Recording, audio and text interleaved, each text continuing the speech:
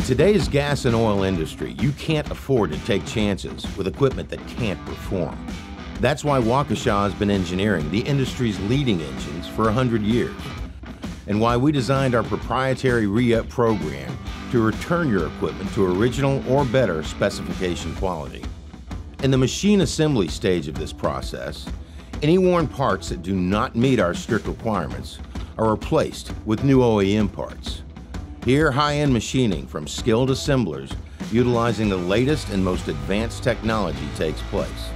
All assemblers methodically remanufacture parts closely, following our exact standards, specifications, and of course, the most current engineering drawings.